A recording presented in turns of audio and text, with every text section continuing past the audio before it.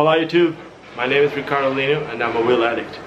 Today, I'm gonna tell you in my opinion, which are the easiest 5 tricks to learn on aggressive skates.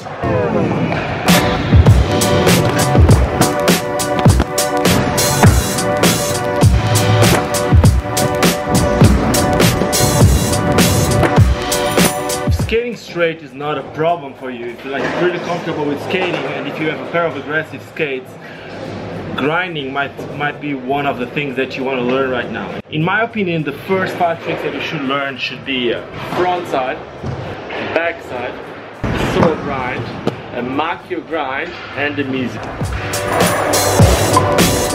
Front side should be one of the first tricks that you should learn, and it's something like when you slide with your feet sideways to the rail or to the ledge. And then if you learn the front side, the back side should be a variation of the same trick, should be a different way of doing it. Of course, if you do it in the rail, it's basically the same trick, but if you're gonna do it in a ledge, then your body needs to be in a different position. I would say if you're doing a backside, you need to lean a lot more forward and put your heels up, but if you're doing a, a front side, then your toes need to be up and your body needs to be a little bit more outside the ledge. Basically what you need to know is doing a front side or a back side, if you're doing it in a ledge, you should lean to the outside part of the ledge, not to the top of the ledge. If you're doing the same trick in a rail, then you should stay on top of the rail.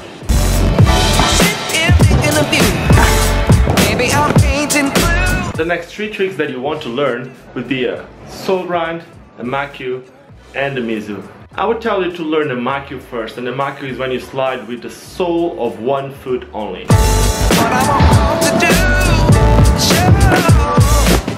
Once you learn the Makio, it would be easier to learn the Miszou and the soul.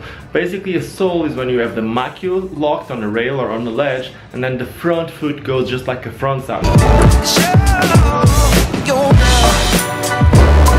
A Miszou, you put the Makio foot and then the other foot goes behind, again, just like a front side or a back side.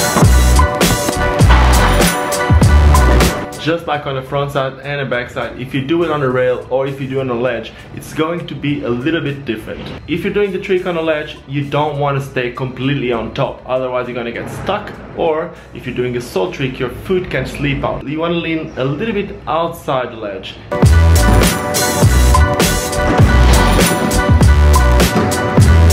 If you're doing it in a rail, you need to stay a little bit more on top.